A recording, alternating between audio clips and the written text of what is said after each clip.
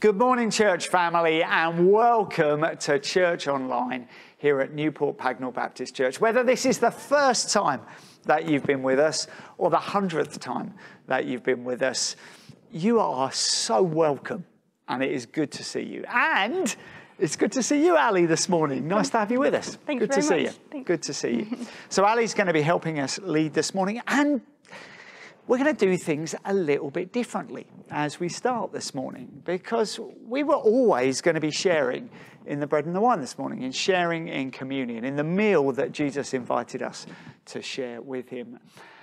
And I felt we're, we're, going to be thinking a little bit about worship today and what it means, and particularly as we think about coming back to the building. Well, I thought we'd start around the table. And I know we don't normally do that. I know you're sitting at home straight away thinking, oh no, it's normally at the end of the service. Well, we're going to do it at the start today. And so we're going to sing in a moment, and that's going to help us to prepare our hearts for the, uh, to sharing the bread and the wine. And it's also a chance, if you at home aren't quite ready for that yet, to make sure that you've got some bread and some wine or some juice so that you can share in that with us. But as we kind of make our way towards, uh, towards the table, towards remembering what Jesus did for us. Ali, you're going to read to us from uh, John's Gospel, I think. Yes. Yeah. So it's John chapter 13, verse 12. When he had finished washing their feet, he put on his clothes and returned to his place. Do you understand what I've done for you? He asked them. You call me teacher and Lord, and rightly so, for that is what I am. Now that I, your Lord and teacher, have washed your feet, you also should wash one another's feet. I have set you an example that you should do as I have done for you. Very truly, I tell you, no servant is greater than his master, nor is a messenger greater than the one who sent him. Amen. Amen. So there we've read that that's from the Gospel of John, the good news of John. And he's recounting the events where Jesus had washed the disciples' feet. And then it's the few moments after it. And he says those words that no servant is greater than his master. And as we think about worship today, so often we come and we think, well, worship is simply about coming and uh, proclaiming our adoration for God, wanting to tell Him how great that He is. But it's also about recognizing in our whole lives that there is someone who is greater than we are. And the very way that we live our lives enables others to see that. And that's also partly what communion is, it, it's, it's coming together and thanking God, but saying, Lord, you are greater than anything I am or could ever be. Let's worship together in song. How great is our God.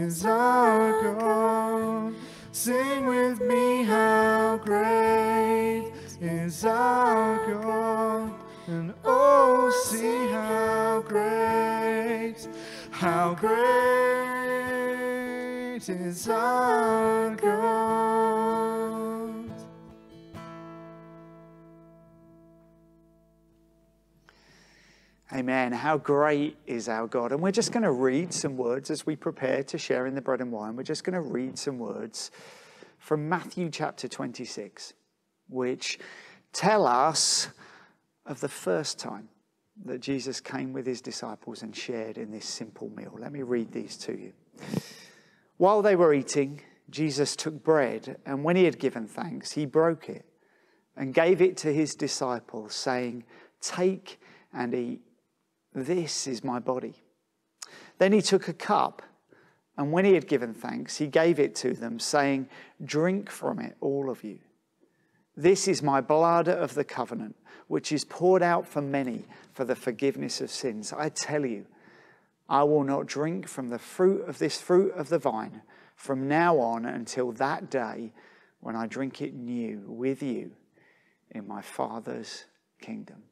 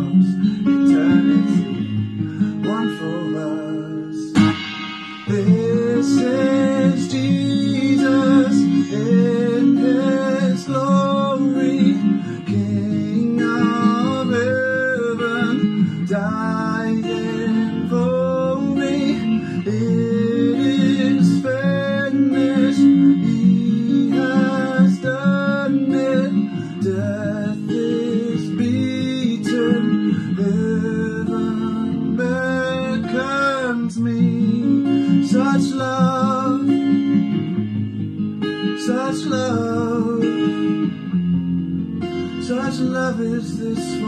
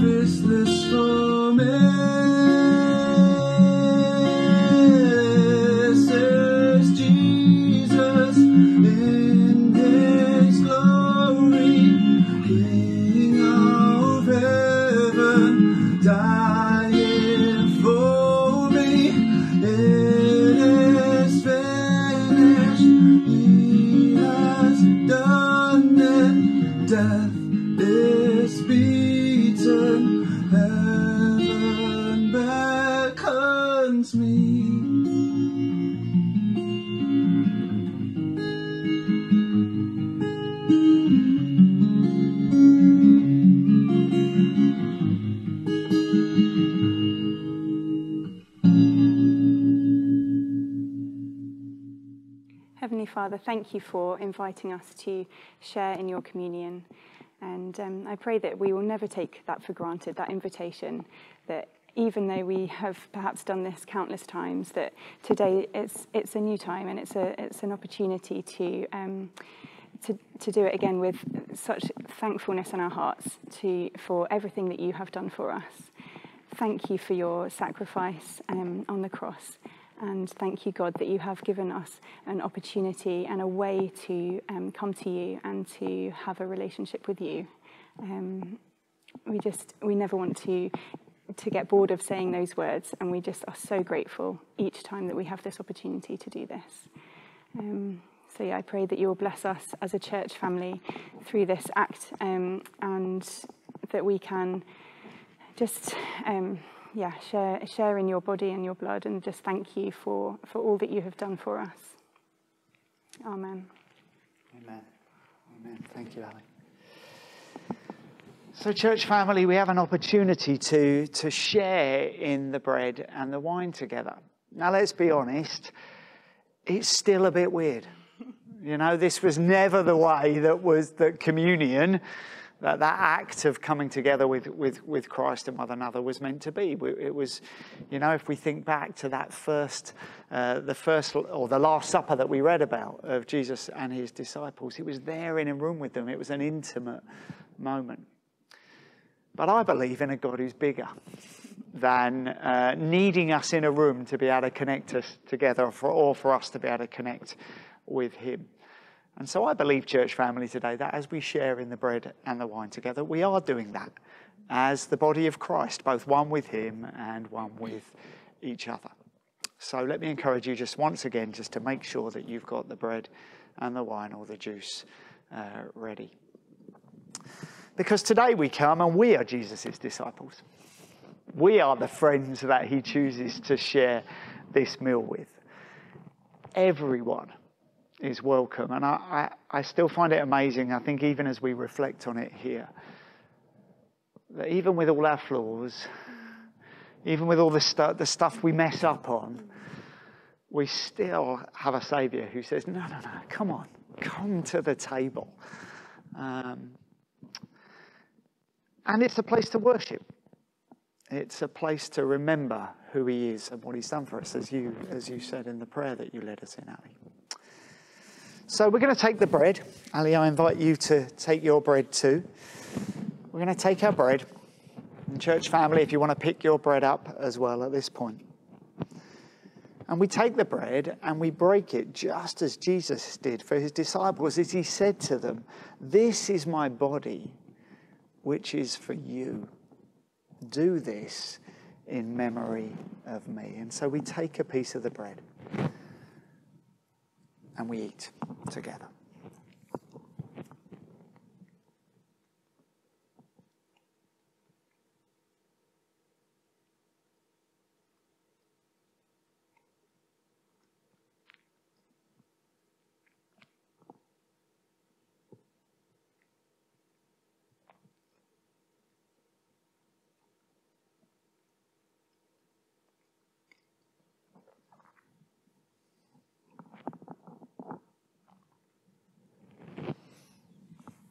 And then, church family, just as Jesus did, as he shared with his disciples, he took the wine.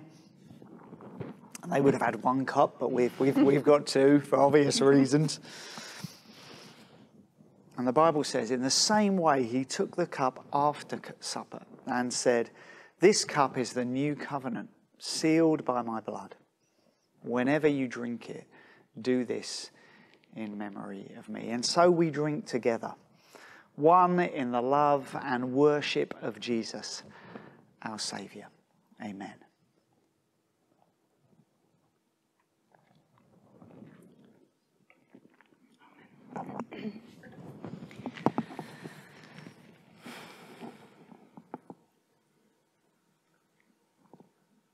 Church family, I invite you to watch this short video that will lead us in a time of prayer.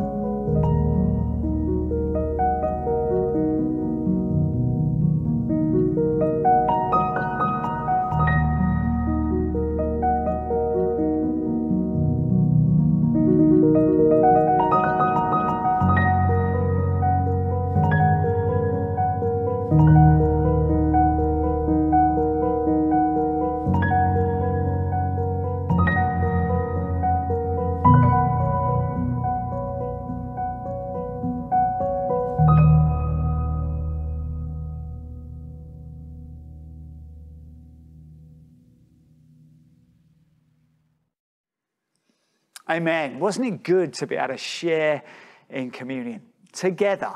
And, church family, I promise you, it's coming soon when we'll be able to sharing it together in the building. Um, I've got Emma with me now. So uh, Ali has changed into Emma. So hello, Emma. Good to see you. Hi, good to be here. Yeah, and Emma has new glasses. I do. You might I do, notice. Yeah. Maybe not.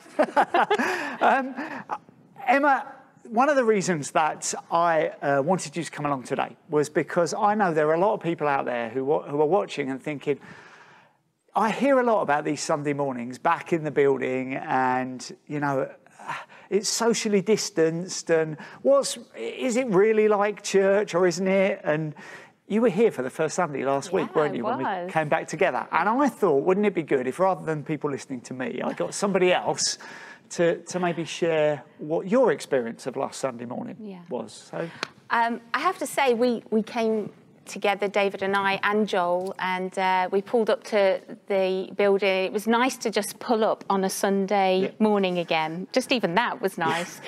uh, and then we walked through the door. Um, and had a lovely greeting. David explained uh, exactly what to expect as you walk through the door. So which that's was David great. Wright. David, David Wright, Wright, yeah, yeah. yeah. Uh, he explained what to expect, and uh, we had a, um, a three seats together with our name on it, with the beanie name on it, and uh, uh, really well organised in that sense of just feeling like uh, you could just walk in the door and just rest and relax. And I think that's what I would say. It was a really relaxed place to be, full of joy because you could see people's faces, wasn't? Yeah. and um, and just being able to be together uh, was was just yeah, it did, it did us all good, I have to say, um, and uh, just being just being together, um, even though it was different. how, how did you deal with the no singing, right? Because that was a. Yeah, I see. I'm a, yeah, I like to so uh, tapping. we encourage tapping. Yeah. Uh, and and just your heart really isn't it so when you're listening to what's happening and, and the song and the music and the words it's engaging with that in a process of just saying lord i'm here and just opening up opening up to to him in that process and so um, yeah a bit strange not singing but actually just so good to be in the room still Yeah, I must admit, I've found it, it's just different. And it, it, you know, in some ways, I reflect more on the words maybe than I do when I'm singing them. yeah Uh, yeah it's just a different experience. it is So, so Emma, what would you say if people are sitting at home and they're thinking, do I sign up for this? Do I come along on a Sunday or not? What would you say to, to people? I think that um, we want you, I mean, obviously, we want you to be ready to want Yeah. to come back. Uh, but I, I would have to say that it was good to be together. And, uh, and it was, there's something about um, coming to church on a Sunday morning that I just, as we pulled up in the car, it was just like, it was so good. It was so good. And I know it's not the same uh, at the moment, but actually it was good to be together, good to see uh, people around you, familiar faces and new faces. And so people that we've seen on screen but not actually met in real life Yep. uh, has just been lovely. real life. Too, you Yeah. know, uh, and, uh, and just be able to have some uh, conversation uh, with people. Uh, it was just, it was a real blessing. Good, thank you. Well, there's encouragement for you, church family, from a real person, uh, someone who I can see in real life. I promise you that uh, Emma is really here. Um, and just, we want you back in the church building. And as, as Emma has said, that's got to be at the right time for you. Um, but we'd love to see you, and we think that the, the experience that you'll have here will be a, will be a really positive one.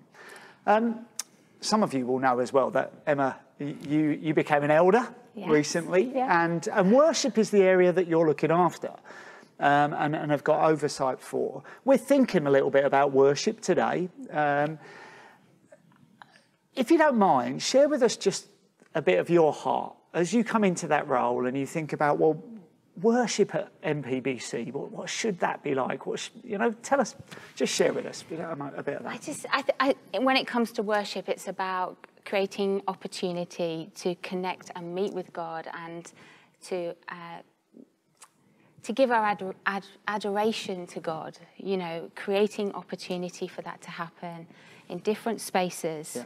And um, uh, particularly at the moment when we're all in slightly different places ourselves, um, and so it's sort of creating those opportunities for us to come together, draw together, and worship God for, for all that He is Amen. and all that He has been. And so uh, those opportunities are, are going to be uh, something that I think is important uh, in different ways so the Holy Spirit can move as only He can.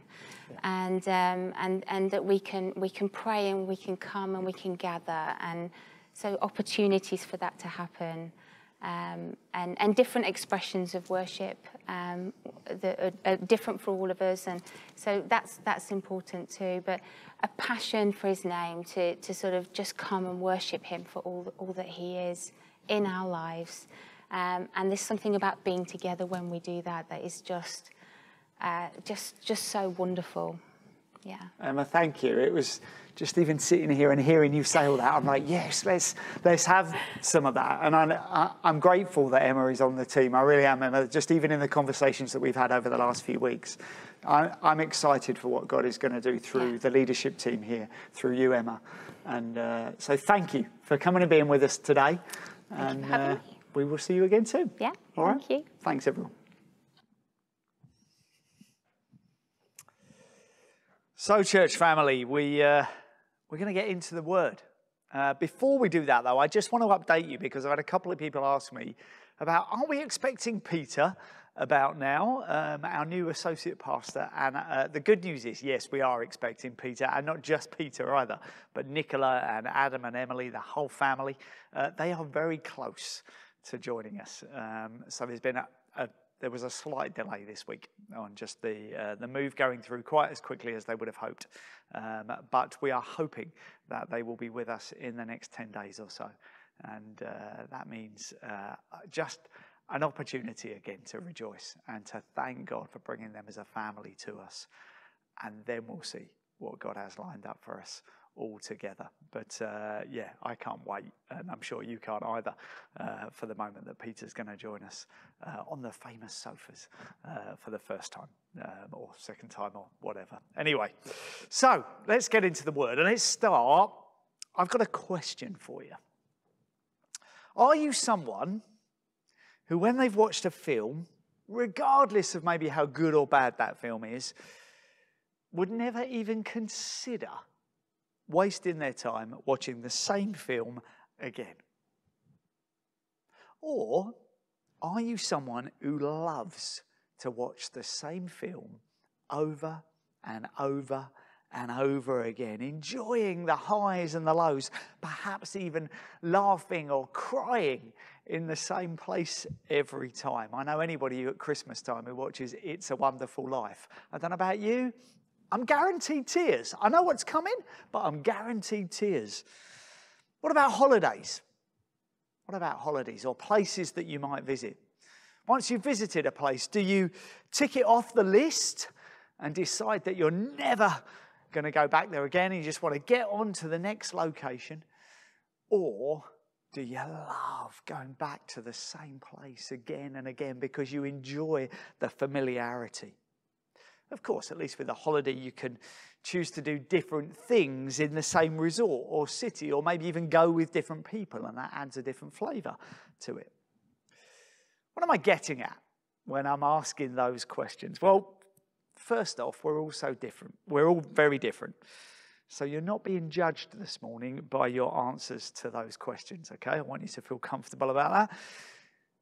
But I do also want to say that sometimes I sense we're all a bit, we can be too quick to want to move on to the next thing. We think we've exhausted something. And in our rush to get on to the next thing, we miss the layers that exist, the encounters that might still be waiting for us, the details that only become clear when we dwell in something.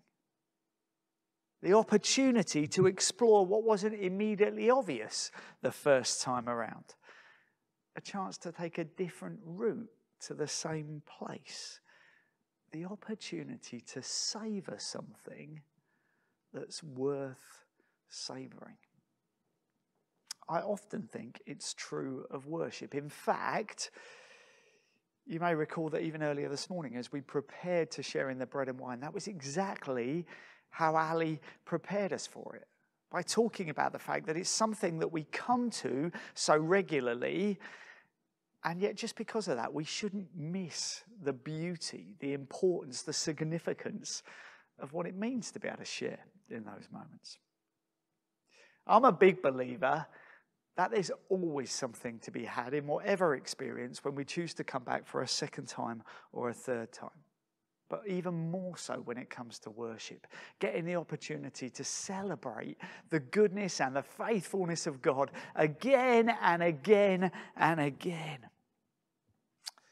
Which is partly why, having spoken a little bit about worship last week, we're here again I've got no apologies for that. We're going to savour it. And we're going to start by reading from Ezra. Ali's going to read to us from Ezra chapter 6, beginning at verse 13. Then, because of the decree King Darius had sent, Tattenai, governor of Trans Euphrates and Shethar Bozenai, and their associates carried it out with diligence. So the elders of the Jews continued to build and prosper under the preaching of Haggai the prophet and Zechariah, a descendant of Iddo. They finished building the temple according to the command of the God of Israel and the decrees of Cyrus, Darius, and Artaxerxes, kings of Persia. The temple was completed on the third day of the month Adar, in the sixth year of the reign of King Darius. Then the people of Israel, the priests, the Levites, and the rest of the exiles celebrated the dedication of the house of God with joy.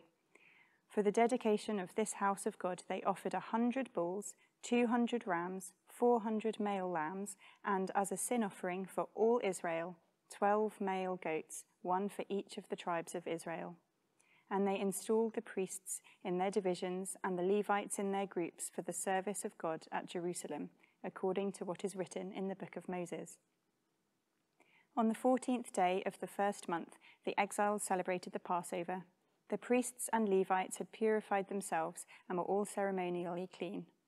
The Levites slaughtered the Passover lamb for all the exiles, for their relatives, the priests, and for themselves. So the Israelites who had returned from the exile ate it, together with all who had separated themselves from the unclean practices of their Gentile neighbors in order to seek the Lord, the God of Israel. For seven days they celebrated with joy the festival of unleavened bread, because the Lord had filled them with joy by changing the attitude of the king of Assyria, so that he assisted them in the work on the house of God, the God of Israel. Amen. So we've had another insight into the people of Israel as they return from exile. And as we get into God's word, as we seek to just explore it a bit more to see what God has to say to us this morning, I'm just going to pray as we do that. Father God, I pray that you will take those words that we have just read and you will enable them through your Holy Spirit to speak into our lives this morning. You'll enable it, them to speak into our individual lives and I pray, Lord, that you'll also enable them to speak into the life of this church, that we will know your voice speaking clearly to us, sharing with us the path that you would have us follow, Father God. And if there's anything that I say, as we go into these words today, Lord, I pray that if there's anything that I say that isn't of you, you'll just delete it. Because I pray that we, as your church, as your people, might only hear your voice this morning. In Jesus' name we pray. Amen. So you might remember that last week we took a look at Ezra chapter 3. And Zerubbabel was leading the people to rebuild the altar, the very minimum the people needed for worship. And then they worshipped. Boy, did they worship at that altar in response to God's faithfulness with a whole range of emotions coming out in the process. You might remember there were shouts of joy and there were tears at the same time. It was an emotional time as they returned to worship. Well, today we've moved forward to Ezra chapter 6. And in moving three chapters, we've made the transition from altar that was being built there and the foundations for the temple to the temple itself. Now, our focus today, you might wonder why I've jumped from chapter 3 to 6. And that's because I felt that what God wanted us to move towards was, was here in chapter 6 today. But that, although our focus isn't on all those bits in between, which are a mixture of opposition to the building of the temple, and there's all sorts of historical and political commentary and communication written by different kings, although that's not our focus today, I don't want to just dismiss it. I don't want to pretend it's not there. If it's in the scripture, there's something that it has to say to us that's important. However, I think it can be summarized in the first three verses of that which Ali read to us today, reminding us that God is on the move. Reminding us that this is no isolated story in the Bible. It's part of a much bigger story. Let me give you a couple of examples of that. Firstly, we arrive in this reading today as King Darius has just secured the building of the temple after all sorts, all sorts of political shenanigans between kings and commanding officers, and there's letters going this way and letters going that way. But in the face of opposition, just as the heart of King Cyrus, right at the start of chapter 1 of Ezra, just as the heart of King Cyrus was moved to invite the Israelite people back, so now God moves the heart of King Darius to ensure that now they're back, the temple gets built. And this King Darius?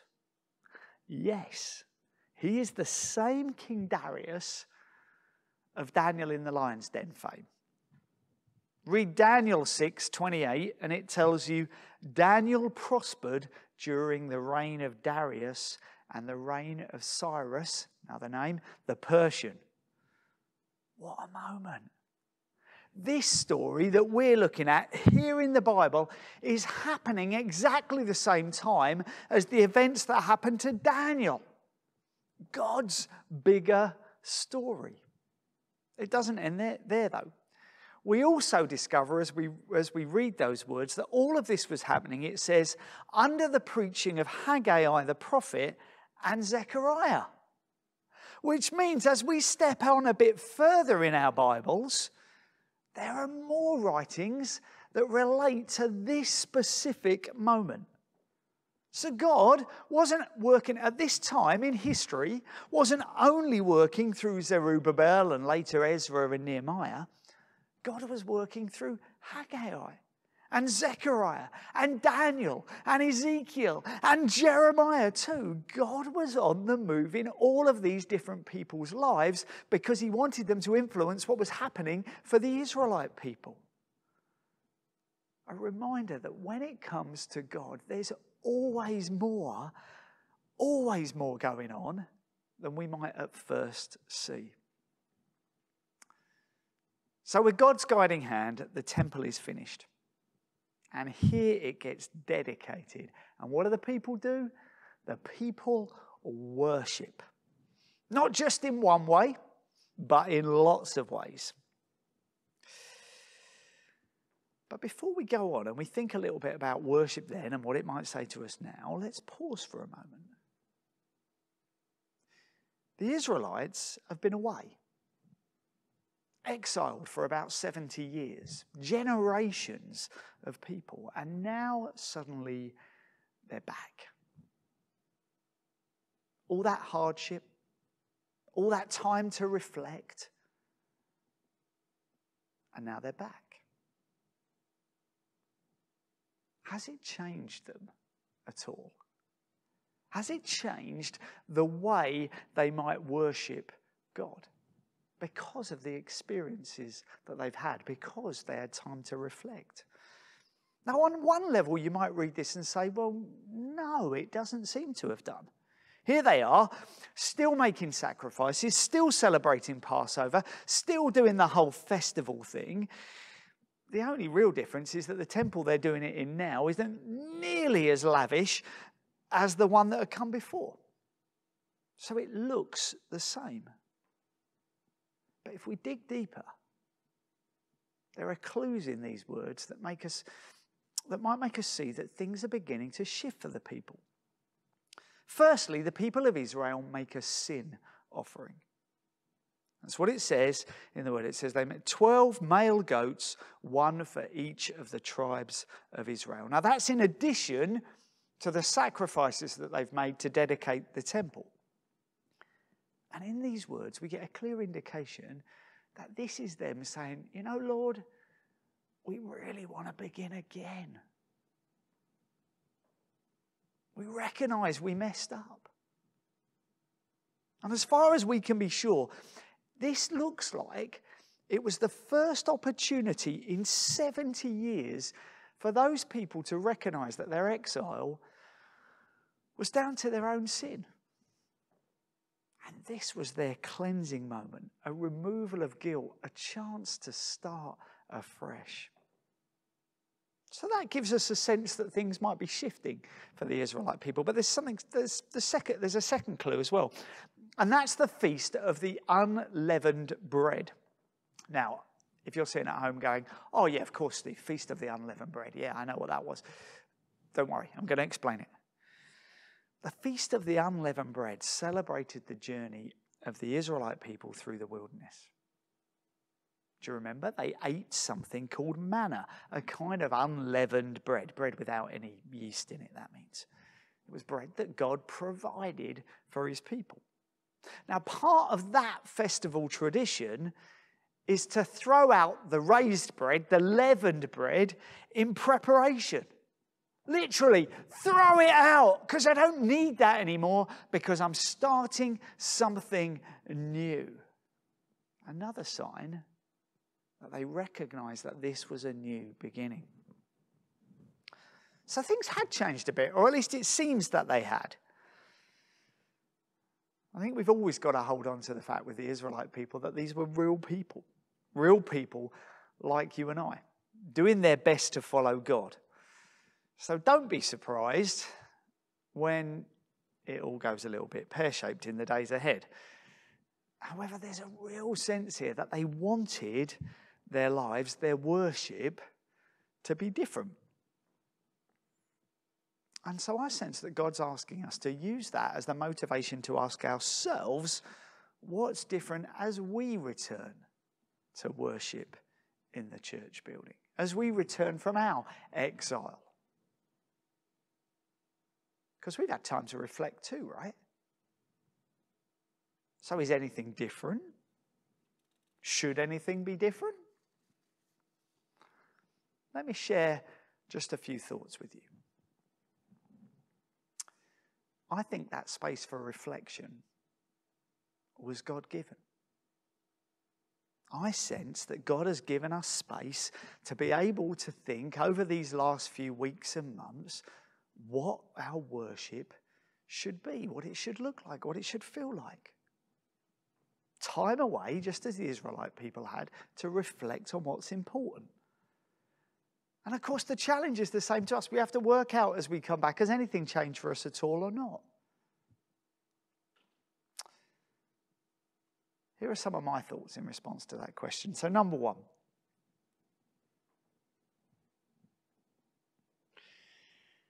I believe that the space that we've been given to reflect is an encouragement for us to start afresh in our worship. I know last week I spoke about the Israelite people returning to old tra- traditions. Now, that can be good. It can feel like putting on an old pair of slippers, they feel comfortable. But what if those slippers were never really good for our feet? What if we just wore them because we'd never really known anything else? Now, in the spirit of finding the right slippers, I believe it's time to ask ourselves why we come together to worship and then to think about what that worship should look like. And in answer to the first part of that question, I'm going to go simple, church family, because I am pretty simple and I like it simple. The primary purpose of God's people, His church, His people together, is to worship. So we come together to worship because that's what we've been called into being for. The trouble is, we tend to equate being together, being God's people, with Sundays, which implies that we only worship together when we're physically together, or we only worship when we're physically together. Whereas, church family, our whole lives, all the different activities of the church were intended for worship. That's one of the reasons that we've said for a while, and we're going to keep saying it, that we think life groups should be at the heart of who we are as a church family, at the heart of our worship. If you're not a member of a life group, or maybe your life group has just got a bit dry, perhaps there's an opportunity here for you to start afresh. So that's number one. Number two, I believe we're being called back to Scripture both last week and this week in our journey through Ezra, I've been struck by how the Torah, the books of the law, the first five books of the Old Testament, shaped the lives of these people. Now, I know it doesn't mean we always apply it in the right way. They certainly struggled at times. But I am certain that God is calling us to be people who genuinely engage with His Word, whose everyday lives are shaped by it. It's part of our worship. It's one of the things that Peter and I have already been talking about. And I know that both he and I are committed to this church being one, as we say in our values, that is Bible centered. That's at, that's at the heart of who we are. Think of it as allowing God this opportunity to speak directly into our lives. Think of it as an opportunity to ask questions of what God is doing and how we can be part of it. Think of it not as passive reading, but of active engagement. Perhaps as we hold that Bible in our hands, whether it's a, a traditional Bible or in our phones, perhaps there's an opportunity for us to start afresh. Number three, I believe we're being called to a new season of prayer. Do you know what excites me in these words? Because you might have already spotted it. It doesn't actually mention prayer. You might think, oh, Steve's making a pretty big jump here from the words that are in the text to something that he wants to say. I'm excited about the fact that it doesn't mention prayer in that word. I'll tell you why, because I, think there's a blocker for us sometimes when it comes to prayer. We're so used to prayer being this thing which means sitting down quietly and closing our eyes, possibly being asked to pray out loud, which for many people is the scariest thing on earth. The words in Ezra don't, tell, don't use the word prayer, but what they do focus on is encounters with God. And I believe that's what we get through prayer. We're opening ourselves up to an encounter with God. That's what all those festivals were. And I don't know about you, but I love the idea of us experiencing encounters with God, places to praise Him, places to listen to Him, places to pour out our hearts to Him. Church family, I pray that's an opportunity for us to start afresh. Number four, I believe we're being called to break bread together. We've already done that this morning. We've already talked about it with this morning both Ali and I have already said how this, what a special moment of remembrance and celebration this is that never loses its significance in the Bible. It's a place where we come again and again and again to celebrate the goodness of God.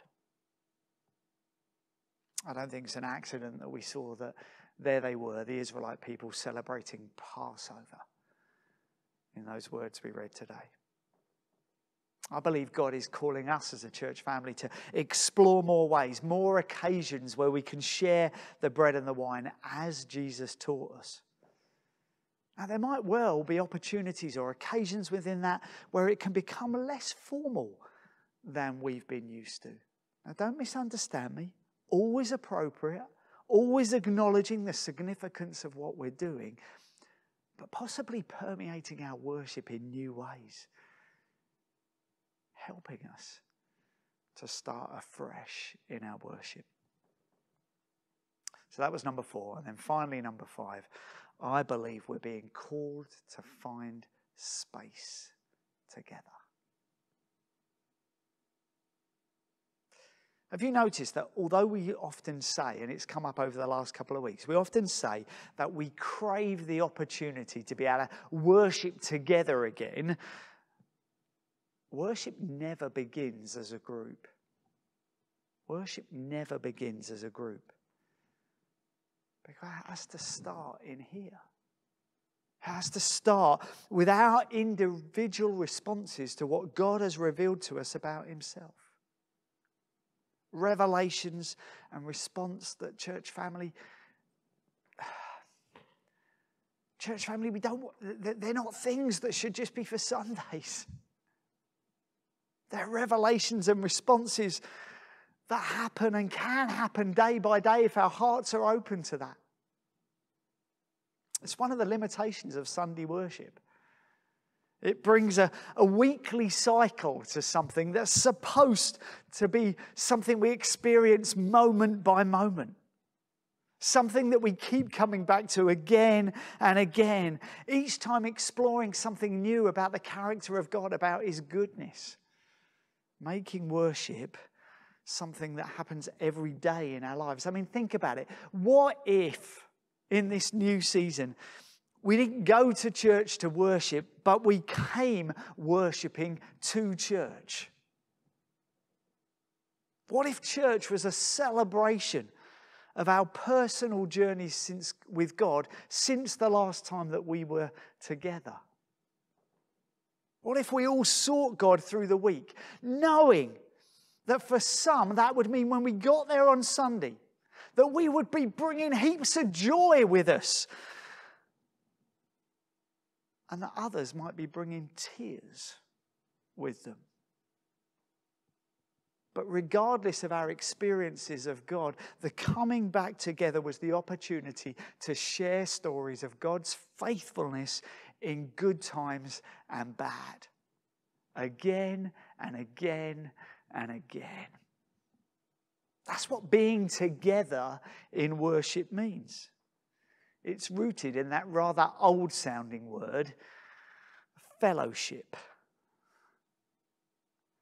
The word in which, which in Hebrew means sharing, participation, contribution. It is, of course, no accident that what I've outlined here mirrors the pattern set down by those in the early church, as outlined in Acts 2. They devoted themselves to the apostles' teaching, to prayer, the breaking of bread, and to fellowship together. So, church family, just as the Israelite people did, will you accept the invitation to come home? Not to a place, but to an encounter with God, grabbing an everyday opportunity to start afresh. Making the decision that you want to live a life that celebrates the goodness of God, whatever it is that you have to go through. I believe that God is calling us home and He's calling us to make our worship about nothing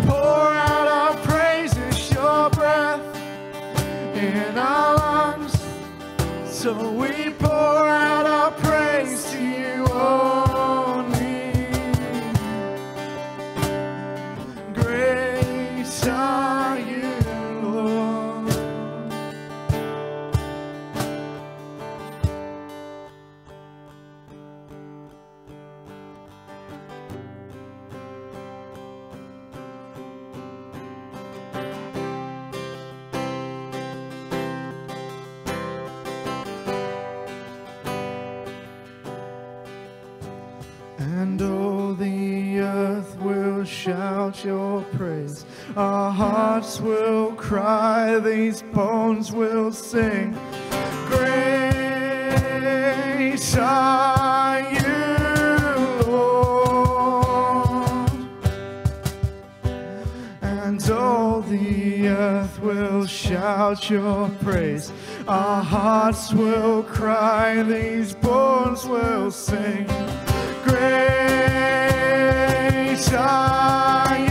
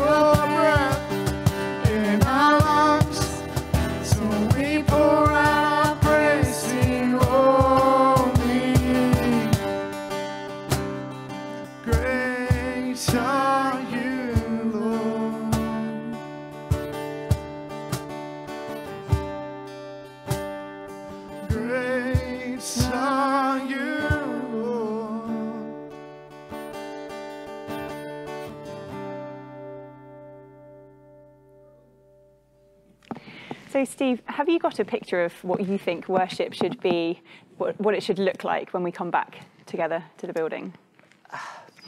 Aha, million dollar question. Um, so, in one sense, yes, and in, in another sense, no. Um, I think the most important for me thing for me, I, I, said it earlier, is just that we we use this opportunity, mm -hmm. and I, I, sense that God's got more for us and that as we come back to dive straight back in to all the things that were there previously. Um, if we do that too quickly and without thought, could be a mistake and and the, the uh, uh, as I say, I think these things happen for a reason. I think God's trying, you know, He's shaking us up a bit through it. Um, and so there will be some things that I think it's important to come back to familiarity as well. It's finding the balance within that. So there will be elements, absolutely. Will it feel like church? Yes, it will feel like church. Really important. But it's about finding the space to encounter God in new ways. Um, I've lost count in this church family with a, number, with a number of conversations I've had with people where they say, I, I really want more of the Spirit. Yeah. Well, if as a church we want more of the Spirit, then we've got to create spaces for that. Yeah. And that may, that may be, mean that we have to do things differently on a Sunday morning or find other Mm-hmm. times Yeah. times to do that. Yeah. Yeah. I mean, I know, like, the, the, um, this is a book called The Infographic Bible, okay? if you haven't seen this and you love diagrams and statistics, you need to get hold of it. So the reason I've got it here today is partly because I'm, I knew we were talking about different types of worship, and this was an amazing way for me to get into the Bible. But it's because Ali pointed me towards it, right? Because Ali, you you'd seen this. Yeah, I, I've had it for a while. I can't remember where I, I. I think I saw it. I'm just thinking. I think I saw it on a friend's coffee table at their house. I picked it up and started looking at it and thought, "This is amazing." Bought it for myself and then recommend it to lots of people because it is. It's. It's just a really different way of looking at uh, aspects and concepts in the Bible, and um, yeah, it's good. but, and but crucially, and again, you know, one of the things that we t- I was talking about in the message was engaging with the Word. This has enabled me to engage with with God, Yeah. to worship in ways that I don't think I could ever. Yeah. I, I would have done otherwise. I mean, even being able to pictorially see Yeah. Solomon's temple, right? uh, you know, we've been talking about that, but you know, the, these images of Solomon's wealth, or but then you go through to some of the things that the Pentecost and the coming of the Spirit and how it happens, Yeah. and but done with lots of little figures of people, so you can see how many people were impacted by the Spirit. It's just such a different way. It's amazing. I, I just think, you know, people have done the research and they've done all this work. So, and now we have it sort of available to us. Let's use it and let's look at it and enjoy it and, yeah, get and into it's it. stuff like this, I think, that is the example of what I think church family. There are different ways that we can find God, Mm-hmm. and um, I've loved that. I'd absolutely, we'll we'll put it on the website or whatever, so that you you can uh, uh, you can find it to, for yourself. But that's what worship is. It's encounters with God, Yeah. and uh, the more that together, I think that we can do that, Yeah. the more we're going to be the people that God's calling us to be, yeah, right? absolutely. And creating space to talk about what God's done in our lives and, and what, you know, get just um, having that opportunity to share testimonies and, and things would be so good to, Yeah. to do more of that. Um, Yeah, I, I absolutely agree. I think there's there's so much space for it for people who are ready to share. You know, again, Yeah. you know, we're not we're not going to demand that everybody share. stick a microphone under Yeah. everyone's faces. But but we know when we hear those stories of whether they're ones of people in really challenging situations, but, or sometimes fantastic situations. Yeah. Um, just what a difference it makes. Next week, I'm going to be sharing uh, a couple of things. We're talking about how God protects next week, and uh, there's a pastor, another pastor in um, Milton Keynes, known as Pastor B, Pastor who B. you might have known was really ill with COVID. We prayed for him here, and he was he was super super ill. Uh, I sat on a meeting this week where he shared his testimony, Yeah. and it blew the room away. Yeah. It's going to blow you away next week because I'm going to share a bit of it. But it, Yeah. they're the things that, that change us, that remind us of how good God is. Yeah, so encouraging. Yeah. All right, I'm going to pray uh, as, as we close this morning. Let's, let's pray together. Father God, thank you that we are able to have encounters with you. Thank you that we are able to come into your presence and that we don't have to keep our distance, but you invite us to come boldly up to your throne, to be there at your feet. Father God, I pray that in these coming days, in the weeks ahead, that you will lead us and guide us in the way that you would have us go, so that we might find new ways to encounter you in our worship. Or perhaps, Lord, we're going to take existing ways of worship, things we love, and you're going to help us just uh, experience you as we, as, as we go back to some of the things we've missed. Thank you, Father God, that the Creator of this universe, of everything that we know, seeks relationship with us. Lord, in those moments, we just, you know, in every bit of our lives, we just want to give you everything. We want to thank you for all that you are. And I pray, Lord, that for, for our church family, that you will lead us and guide us even this week, Father God. That we will know your voice speaking into our lives. You will bring comfort where that's needed. You'll bring peace where that's needed. You'll bring rest, Father God, where that is needed. I pray you'll bring wisdom to those who need wisdom. I pray you'll bring healing to those who need healing.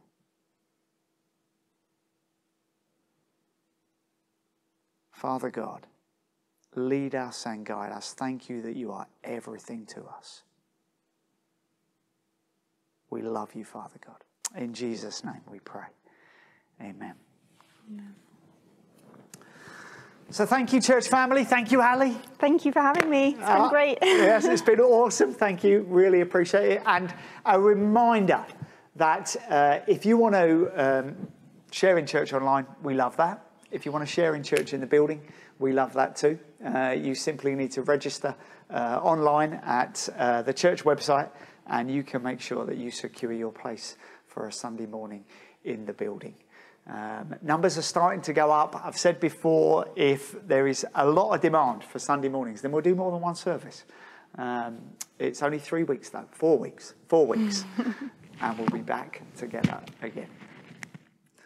Have a good week, everybody. See you soon. Take care. Bye. See ya.